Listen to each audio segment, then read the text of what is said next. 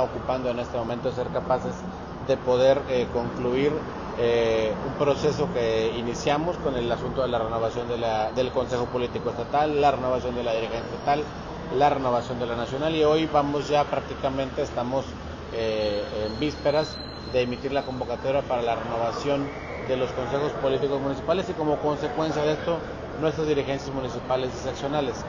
El tema de las alianzas, de las coaliciones, es un tema que llegará en el momento de que revisemos el tema del calendario electoral.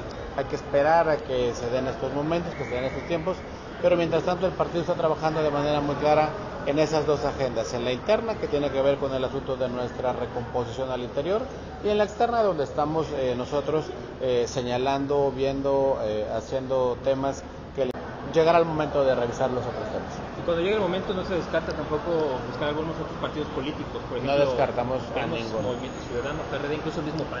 No descartamos a ninguna opción política. Nosotros lo que estamos eh, en este momento observando es que el Estado, eh, como va eh, desarrollándose la actividad política, pareciera que más que avanzar viene en una especie de retroceso.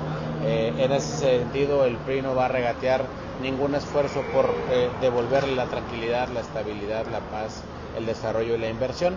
Pero bueno, vamos a esperar a que llegue el momento y entonces ya hablaremos. Mientras tanto, eh, cada partido está en sus agendas internas, cada uno de ellos tiene que atender sus propios, sus propios temas.